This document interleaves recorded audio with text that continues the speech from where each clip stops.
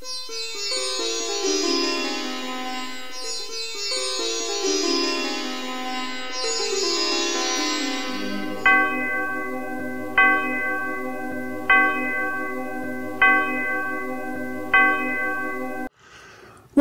along, everybody, to uh, this very special occasion today. This is a, an occasion that has been um, organised by Prem from our uh, Buddhist community, uh, an organisation to celebrate 70 years of, uh, uh, of the life of Ajahn Brahm. Um, you can see that we've got set up beside us uh, here an image of him.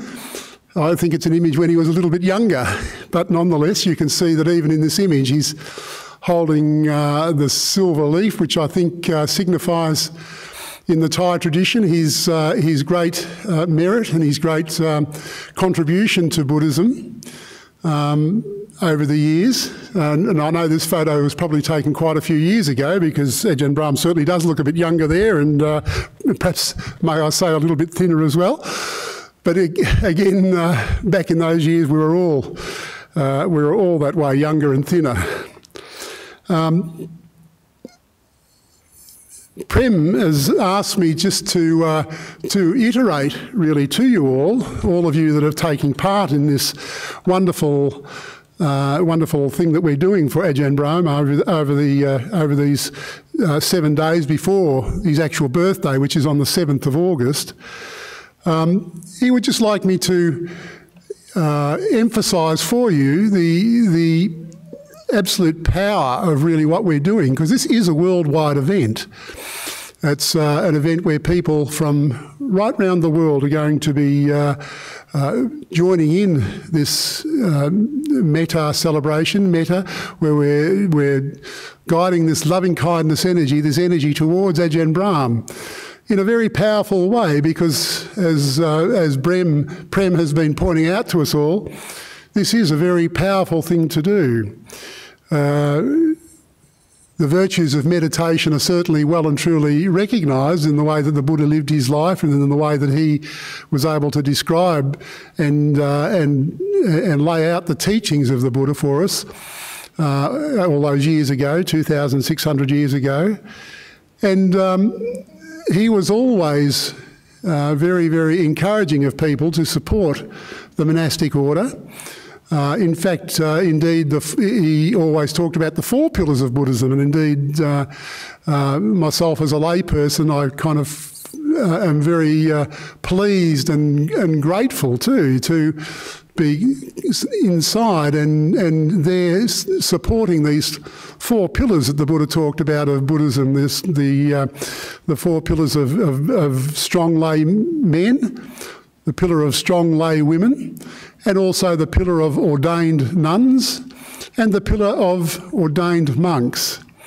Ajahn Brahm has been a, a monk now for many, many years, and uh, uh, I've known him too uh, ever since he's been here in Perth uh, when he came uh, all those years ago.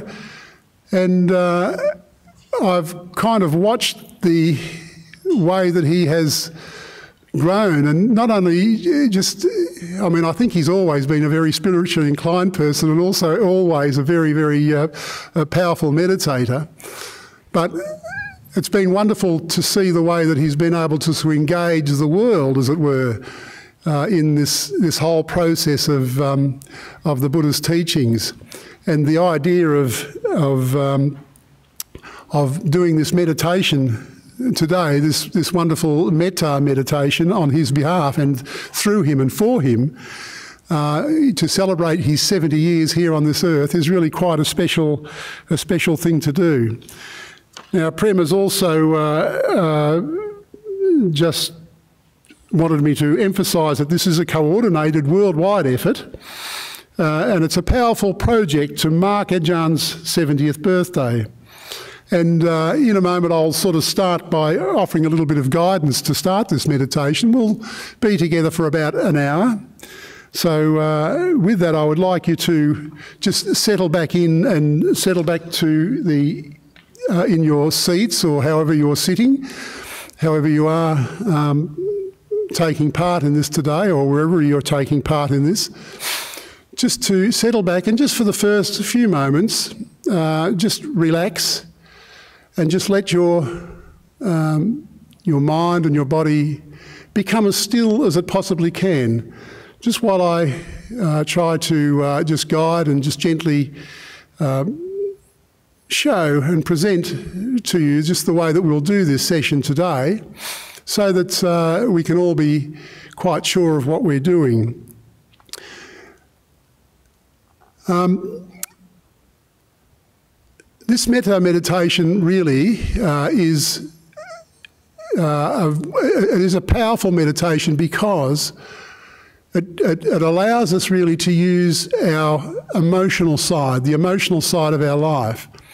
I mean, as human beings, we do live our lives um, with both our head, our intellect, but there's also sometimes that we forget about this really, but there's also this emotional side, the head and the heart or the stomach is really just where you normally feel these feelings, usually, not so much in the head, which is more usually more uh, centred around intellectual thought and so on. But when these two things, the head and the heart, can come together, this is a very, very powerful thing to happen because it then allows us to to settle into uh, what it is to be really fully human a full, fully human being, uh, a person that's living on this earth, a person that's living in this universe.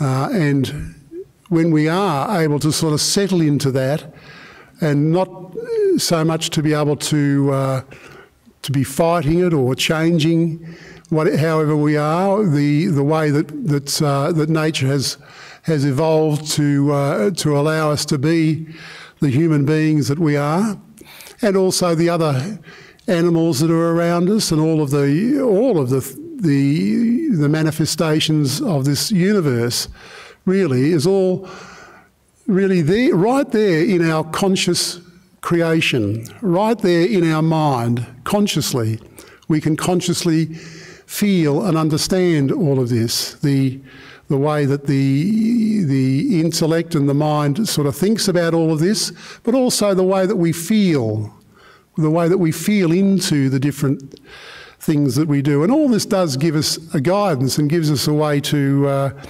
um, to, to, go forward and, and, and to, to live in a way that's, that's balanced.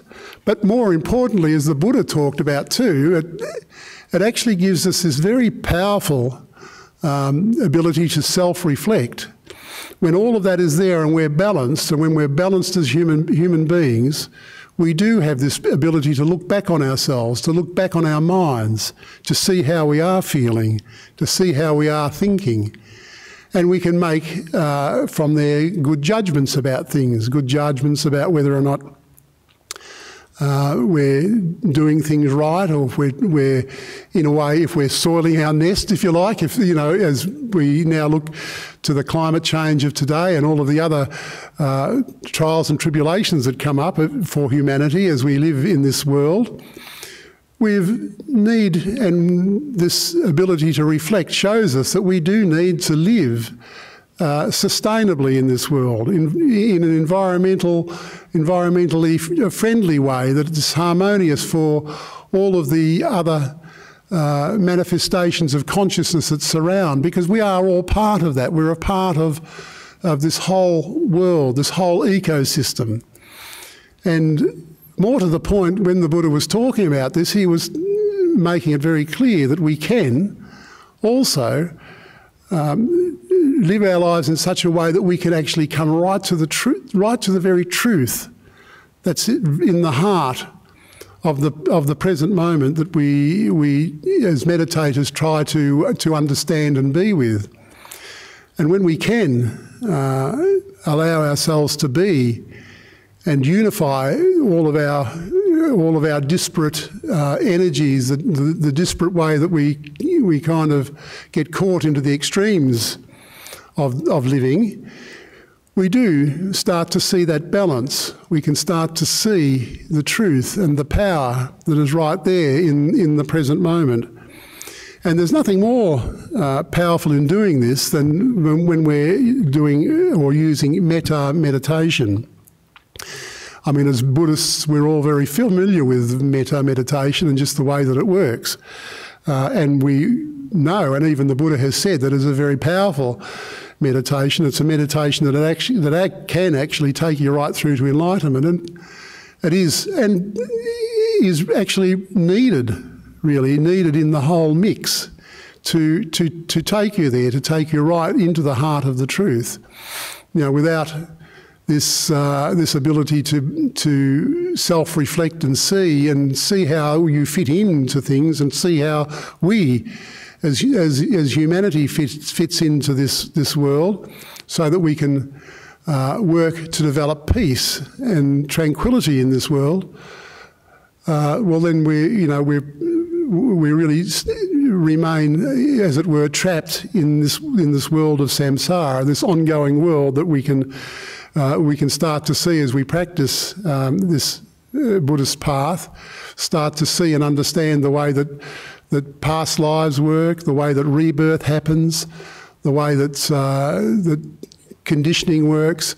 And indeed, the Buddha uh, set out many, many teachings to help us understand this, this way of, um, of, of looking at things, this Buddhist way of of, of looking at these things. And I'm thinking here about the 12 steps in the path of dependent origination.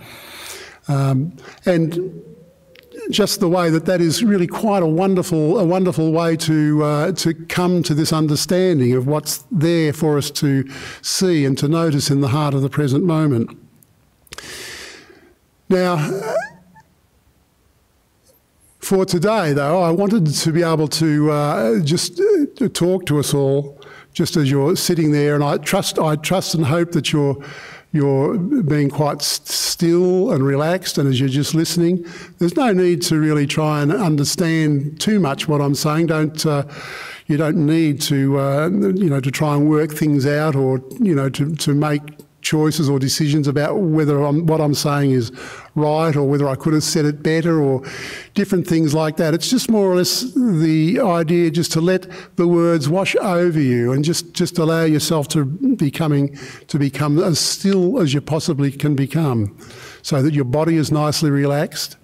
And then as that happens, then your mind also can be relaxed as it sort of sits and fits into the present moment. So I really wanted to just start by uh, alerting you to, as you probably already know anyway, most of you, just in the way that Ajahn Brahm actually usually teaches this meditation for himself.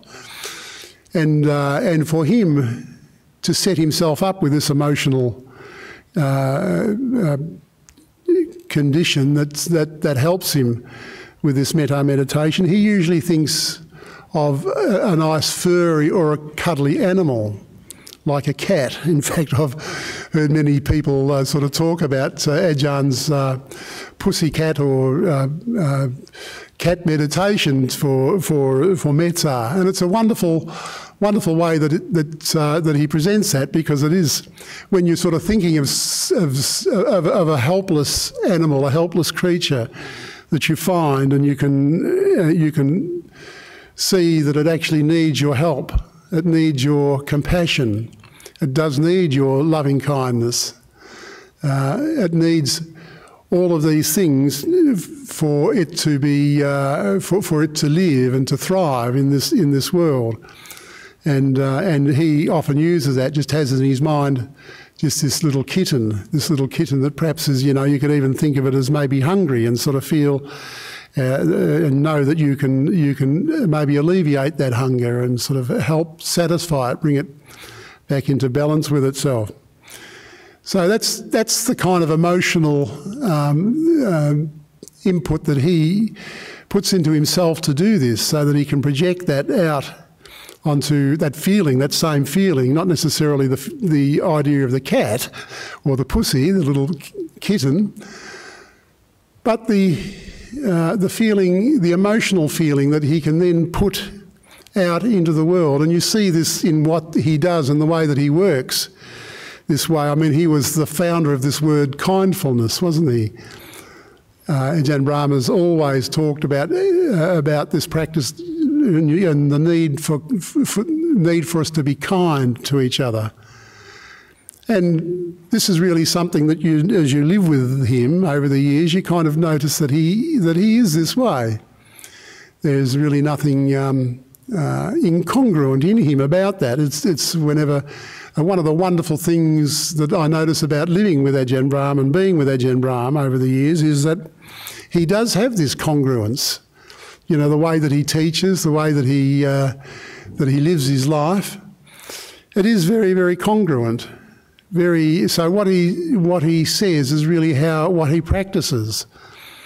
Um, now there can always be, you know, there's I mean, even myself, you know, there's times when you when you maybe you know, get get a little bit at loggerheads with things. It's the same as he has with, uh, no doubt, with me or with uh, with others too. But there is always at the back of his mind this way of moving through any trials and tribulations or any troubles that might arise with kindness being kind and always being able to project that feeling of warmth, that feeling of uh, nurture and loving kindness out into the situation that he's, he's dealing with.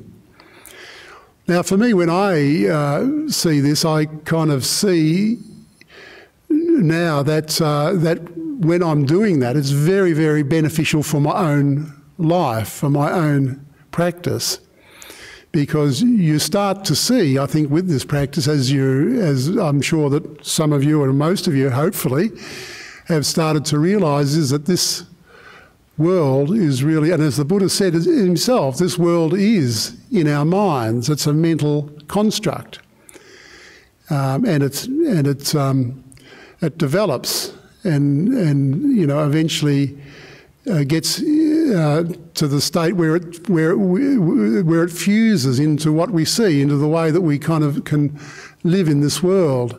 We're living in a habitual way in this world where where this um, the conditions of life are, are, are there, and they they've manifested uh, through our well through our ignorance mainly uh, in uh, in this way now that we kind of perceive this world and understand this world to be external from us. But that, in actual fact, is not really the truth. When we look out into this world, and I would encourage you to sort of even to, to, to see it this way if you can, or practice to see it this way, to, to see that you're looking out through your own, your own mind, looking out, you're looking directly into your own mind. But it's when I'm looking out here into this world, into this hall here at Dhammaloka, I'm looking into Dennis's world.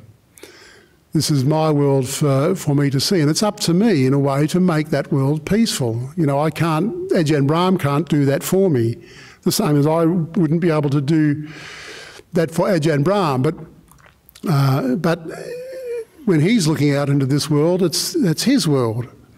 When the Buddha was looking out into the world uh, in his time, that was his world that he was looking out into. So we, we all are responsible for, for the way that we the, the, way that we react, the way that we relate, our relationship with this world is really the most important thing to see. And, uh, and this metta meditation certainly is, is a way that we can uh, use this emotional side of our life, this feeling side of our life, to, uh, to be able to, be, to bring up this kindness and this love, this uh, knowledge that we are part of all of this, that we are connected into this world. We are part of this earth. You know, in fact, we uh, we live on this earth, we eat up all of its vegetables and its, its growth and its, all the, the bounty that comes from the earth is our food. There's the water that we drink that's also, uh, that goes into us and makes us part of this world. We're born into this world and we, when we die, we go back into this world. We are part of it, we're connected into it. And by extension to that, too, I'd also like to just bring in the idea that this world and all of that connection to then extends out into the universe. So the universe itself, indeed, even all of the parts, all of the, the makeup of my body, the makeup of your body, this is all the elements that make all of that up, really does come from the, the stars. Because the stars is where all the elements are made. It's the only place that, well, certainly any elements heavier than iron are definitely made in stars, and they come about in the in these titanic uh, explosions, these supernova explosions, and so on that that happen very very often out in the universe, all the time seeding the universe with all of these, all of this uh, this um, physical conditioning that really then comes back into us. This earth has certainly been through two or three cycles of conditioning. And, uh, and the elements that are in our bodies all come from the universe. So we can see from that that we are really part of this universe as well as that we're part of this earth. And uh, just in a moment, I would like, when we start this little meditation practice, I would like to do a little exercise of grounding, just to ground us into uh, this seat that we're sitting in, into this earth, and really just acknowledge just the presence of the universe and just how all of this really is in our minds. It's inside our consciousness. And this will become quite apparent. I hope to just guide you very gently uh, into uh, this stillness, this still consciousness which can be found and, and, is just very readily seen right in the heart of the present moment. It is a condition that you can, you can uh, cultivate, you can amplify it up, and indeed use this still consciousness, this stillness of mind, as, as, a, as a datum for your life, as a datum to reflect from. And when we start doing that, it becomes more and more apparent then for us to see that this world is inside our mind it's a mind made universe. And of course, when we start to see that, we can start to understand why uh, it's so powerful to do a metta meditation like this today and really to channel it through, bring it through someone as powerful as Ajahn Brahm's teachings have been around the world and the way that uh, to bring it through the power of the way that he stands, the way that he, the way that he um, relates to, to the world, to take all of this, um, to give all this uh, uh, and focus this energy back to Him. And we can see, as Prem has been uh, pointing out, I think for all of us here, that this is a very powerful way to do this, to, in the same way that it was in the time of the Buddha, to, uh, to allow the Buddha's teachings to, to just explode in the way that they certainly have exploded through Ajahn Brahm's good offices here into the world since he's been here in the BW, BSWA and been able to um, uh, to to meet and and uh, work with people all around of the world. You know, his teachings, his the way that he's able to have this ability to um, uh, to talk about and and and to um, uh, identify what the Dharma is and just how to how to live it, how to be with it. All of that has exploded into the world really since he's been here. And this is our opportunity too in this practice to help all of that along, to give all of that uh, voice that Ajahn Brahm has been uh, spreading out into the world, a voice uh, with the, the metta meditation that we're going to generate here uh, today. So, with those few words, I'd like now for you just to settle down and uh, settle right into yourself. And I'm going to ask you, first of all, just to take a few deep breaths. And just, just, just to see yourself sitting.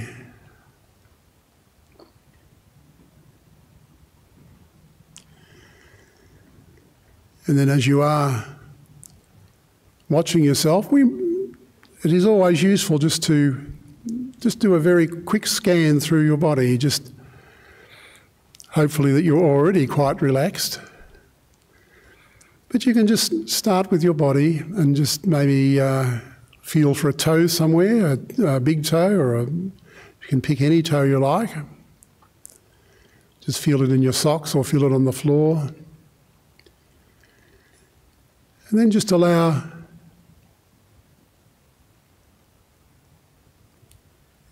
yourself to run over your foot, over your arch, over the arch of your foot into your heel, then up into the ankle area, just where it's articulated onto your foot, and then connected to the lower part of your leg, to the shins. And as you're moving up through there, you might just stop and just notice the, the calves, the calf muscles the nice floppiness of that. Then moving up through the knees, up into the thighs. And if there just does happen to be any tension there in the knees, any kind of uh, feeling of being caught or, or stressed, there you can just just pay a little bit more attention to it and just allow it to relax. Just move gently if you need to. But just let yourself become so relaxed and moving up into the thigh areas, the big muscles in your legs there. And then through your bottom and just feeling the way that your bottom is pulled down into your seat, whatever that may be. Then moving up through into the lower part of the back. Just balancing up that nice straight back with that little curvature right at the base of your spine. So you can feel all that and feel that it's nicely balanced. And then round your tummy. And up into the upper chest. And remember, when you do have time to do this, you can always just stop and linger around these places in your tummy and in your chest because there is always plenty of movement and things happening in there, plenty of gurgles and rumbles and up into your chest, the rhythms of your heart and the way that everything clanks and opens and closes. You really feel into there, you can sort of notice it all happening and just really become quite grateful. I mean, when I do this, it becomes quite, I become quite grateful just to know that this body is doing all this to keep me alive. There's a gratitude there for that for me now, I'm a couple of years older than Ajahn Brahm even. I'm 72 years old now, but my body's been working like this for all of these years. And can think of Ajahn Brahm's body too as 70 years old now, but still working very, very well.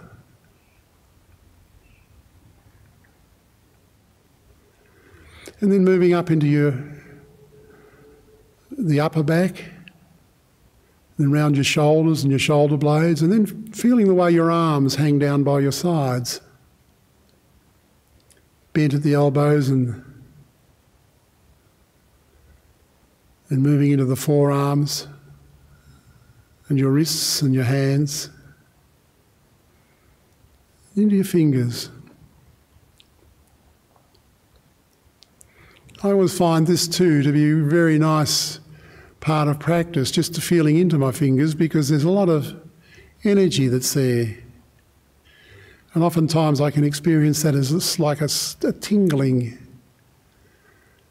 like an effervescent feeling, a buzzing feeling.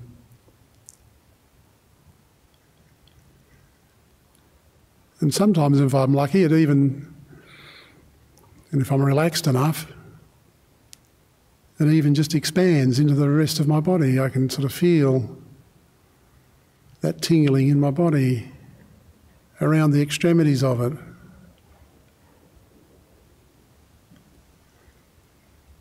And this is a good sign because it's really showing us that we are starting to relax. If you can notice something like that, it means that you are relaxing. There's a relaxation that's starting to happen.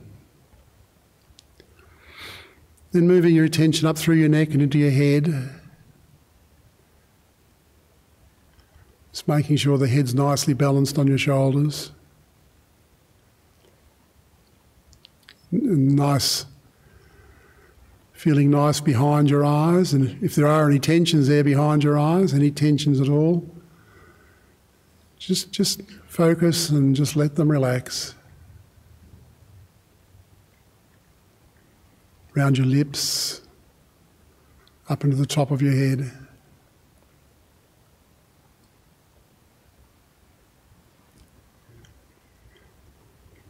And then just to see yourself sitting.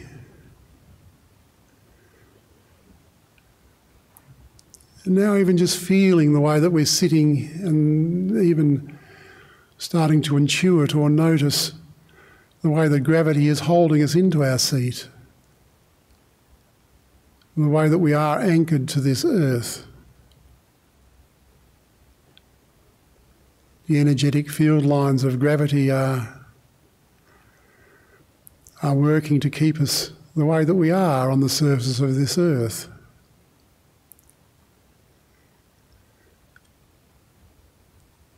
And as your mind settles, you might even start to see how these field lines are going round and round, going down deep into the earth, to the centre of the earth, coming back up to contain you, keeping you safe. And then at the same time, these energetic field lines are also extending out into the universe. They're expanding right out into the universe.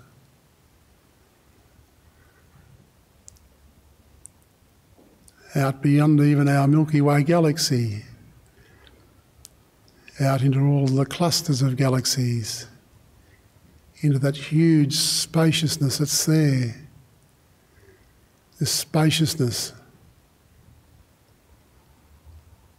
that is just so apparent in our mind. This emptiness.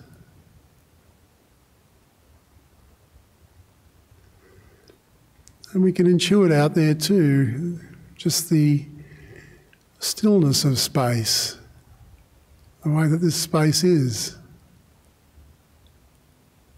So quiet.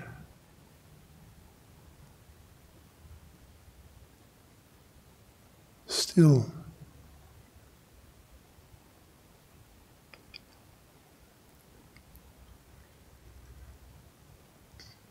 And I point all this out in this metta meditation because I think it is very important to realize that we are part of this earth and part of this universe. The way that we are connected to it all. And then also by extension, we're connected to each other. One human being is not really that much different to another in terms of the way we are conditioned and live our lives.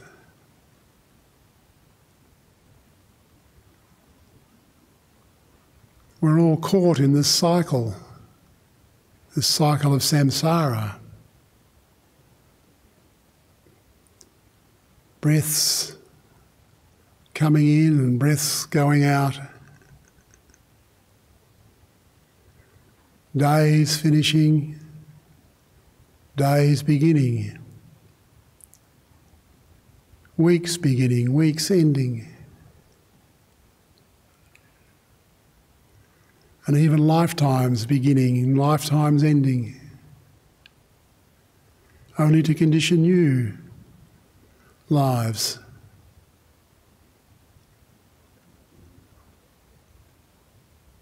All connected in this paradoxical mind stream.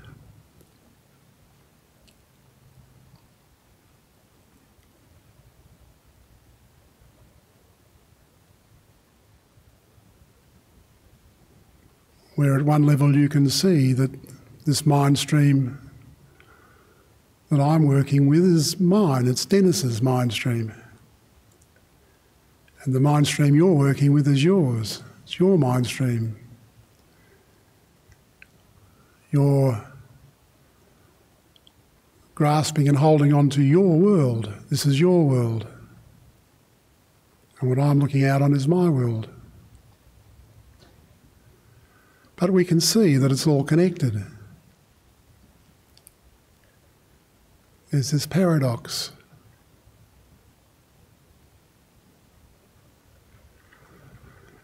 But then now, as we settle and allow ourselves to go deeper into the mind, and I'd like you to do that now, just to allow yourselves to let go of the body and just to settle into the mind. There's no need to think, no need to try and work it out. Just let your mind settle into the space, the stillness, the emptiness of your mind.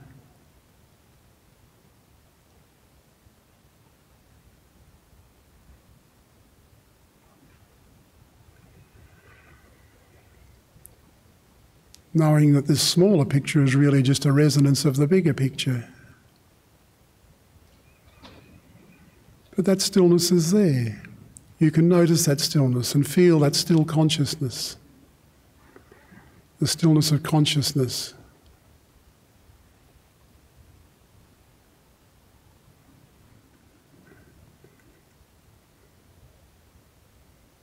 And you can, we can then start to know that it is in this place, in this stillness, this stillness of mind, where all of those paradoxes unify.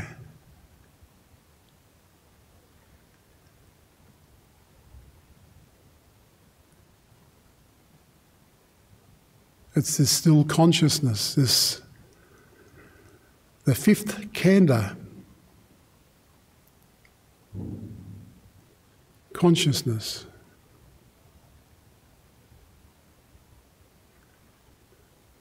Where everything starts to unify.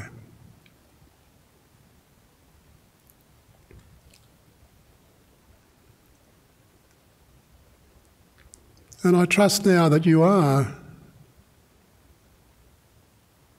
able to be in touch with that stillness, with that still aspect of your mind.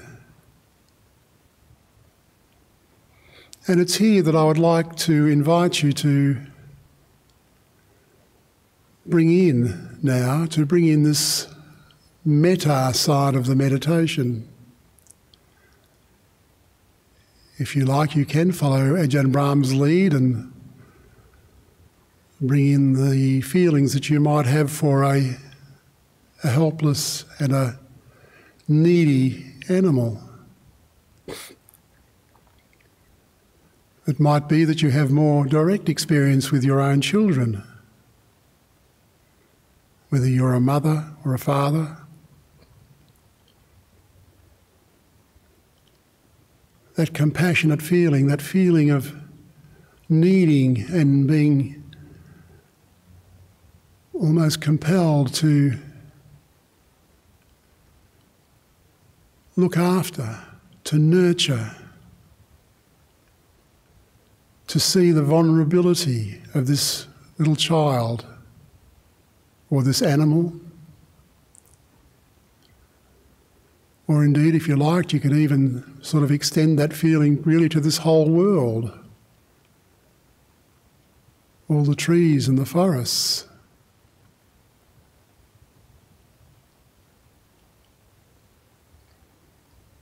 The way that we do need, we need to, and we we practice to nurture, to be kind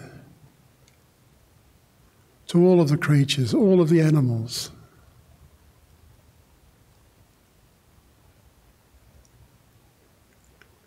Because they are all part of our universe, they're part of our world.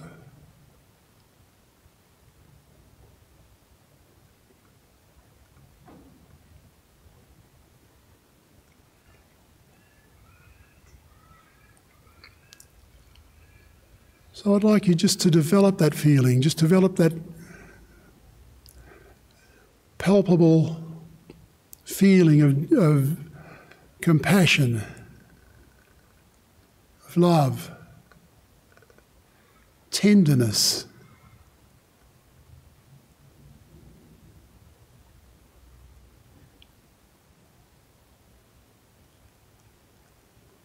And as you're doing that, just notice what it does to your own mind. Notice how, when you do that, it brings joy into your mind, joy into your life. Brings happiness.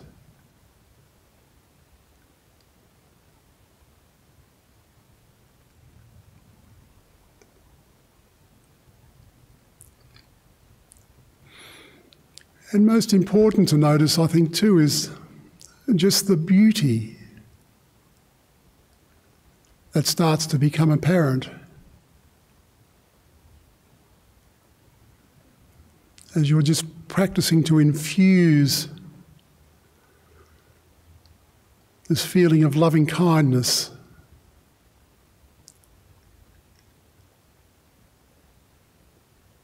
Into the world.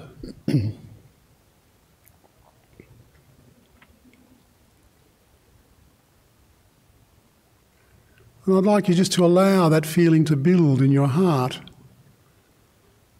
Just to turn your attention now to your heart, just around the middle of your chest. If you need to, you might even like to just bring your hand up to your chest so that you can feel the area that you're working with. And just to bring this tender energy, this beautiful energy of loving kindness.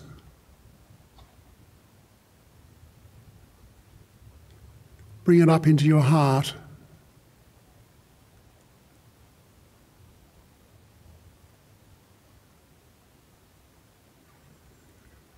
This wonderful compassion. There's a warmth to it. But yet it's not hot, it's in fact, cool like a balm. Balanced. It's a balanced, beautiful feeling.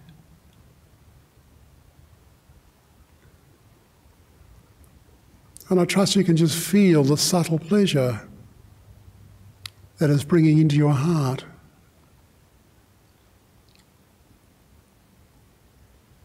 May all beings be well and happy. May I be well and happy.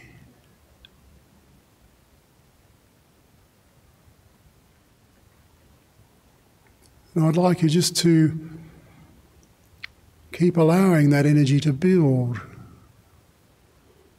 so that it's moving right through your body from the tips of your toes right through to the top of your head.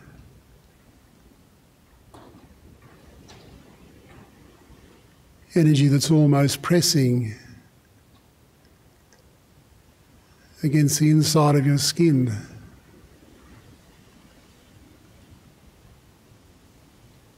And keeping your body just so relaxed.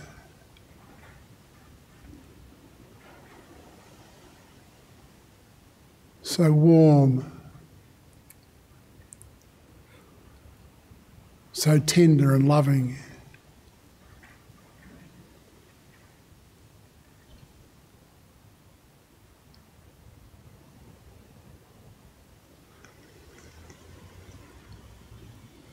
And then as you're building that energy up inside you, I would like you to then, first of all, bring Ajahn Brahm's photo, the photo that's there in front of us on the easel, or your memory of him. Bring him into your mind.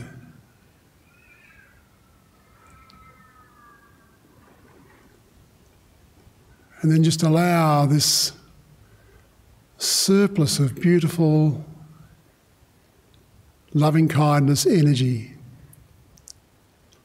just to allow it to flow into Ajahn Brahm.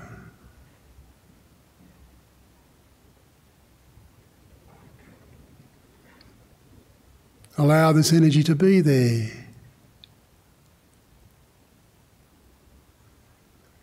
And to give it to Him generously. Generously in the knowledge that this energy will be multiplied. It will increase exponentially.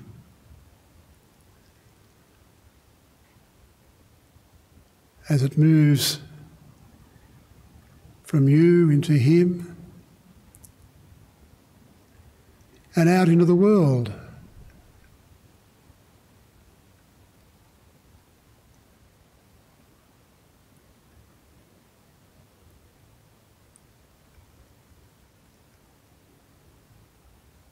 In a way, we're using Ajahn Brahm as a conduit. to amplify this loving energy that we have.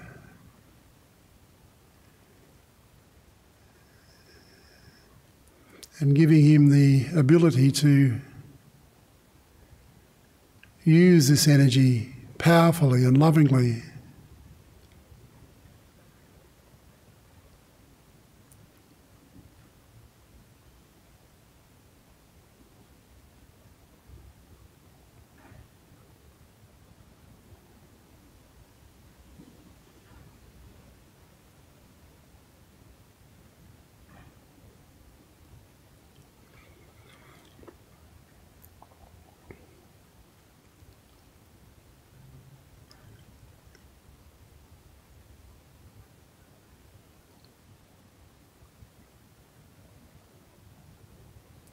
May Ajahn Brahm live a long life.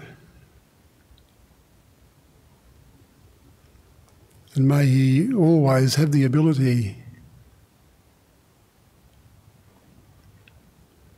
to bring this Dharma to the world, to bring this truth, this beauty to the world.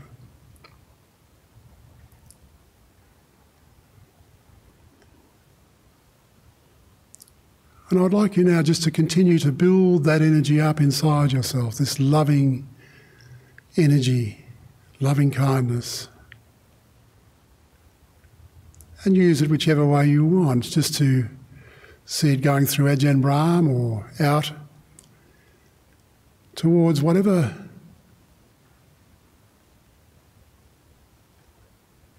is taking your mind whatever your mind is taking it towards. Just to let this energy expand and be free in this world. And then by extension, this loving energy will be free in your own mind.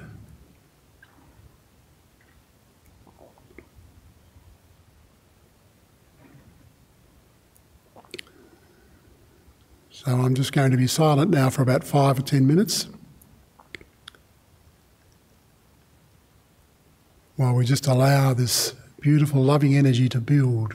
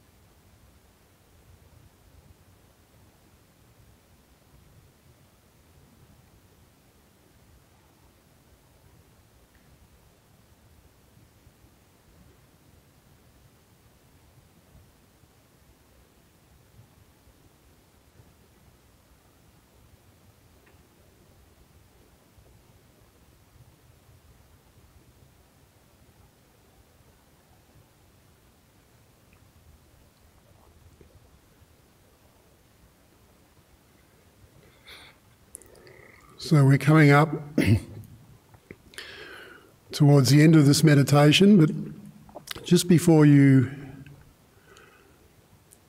uh, move away from this beautiful generation of metta,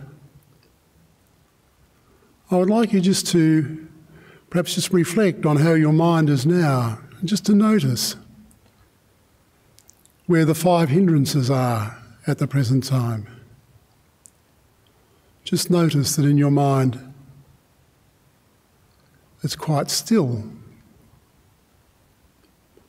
And that stillness is quite powerful. It's quite a powerful energy. And we've just been using that energy too to, in a way, heal, balance the world.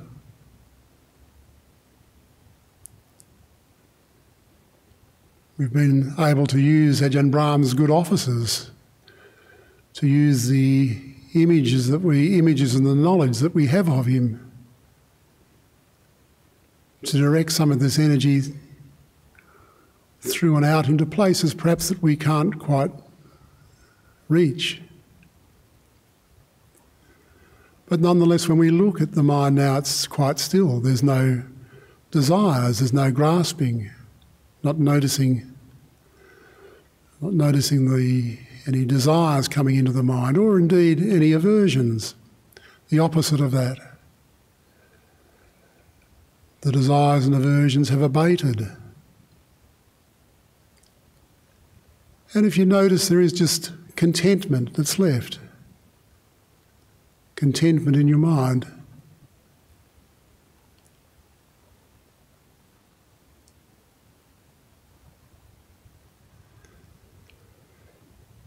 And then hopefully for you, as you look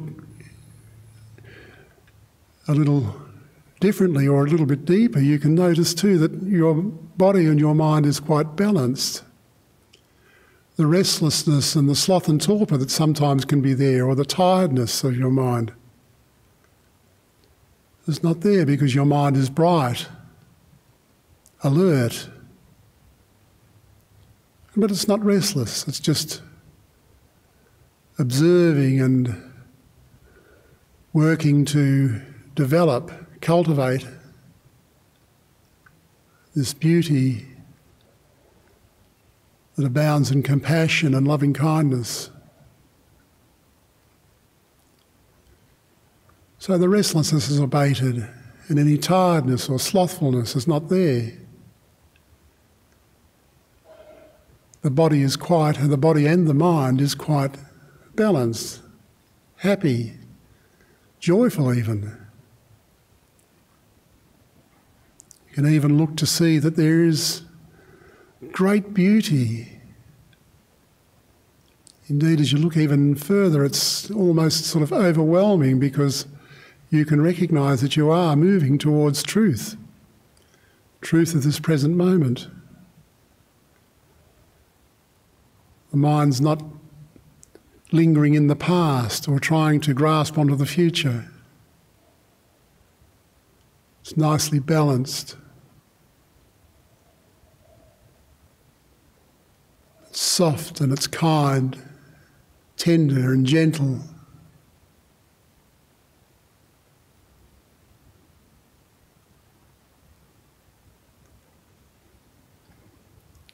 Where you, and you realise that wherever you, you really want to, you can direct this energy, this beautiful, loving energy.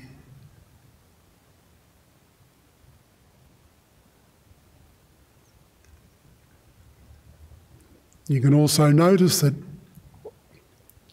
all of this is inside your mind.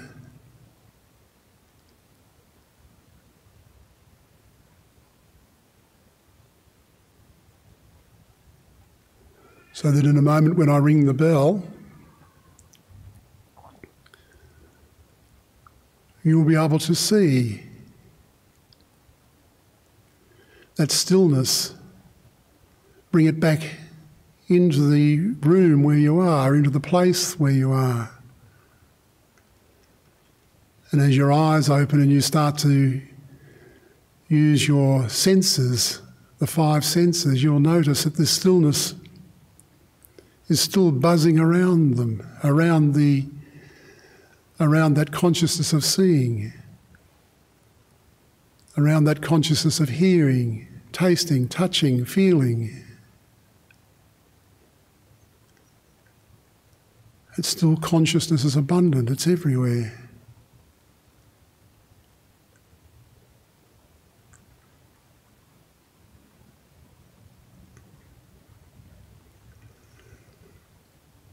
So now I'm going to ring the bell, and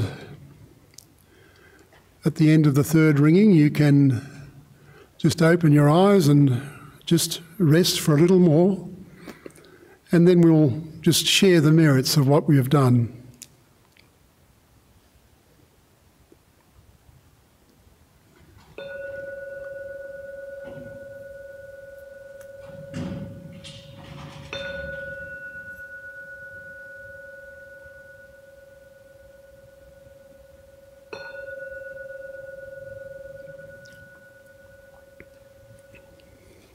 I would like to offer, on behalf of us all, the merits of uh, all that we've done here today to Ajahn Brahm, but also for each and every one of you, every one of you participating in this event, to be able to share the merits with your family, with your friends, with all the people in the world, with all the animals in the world.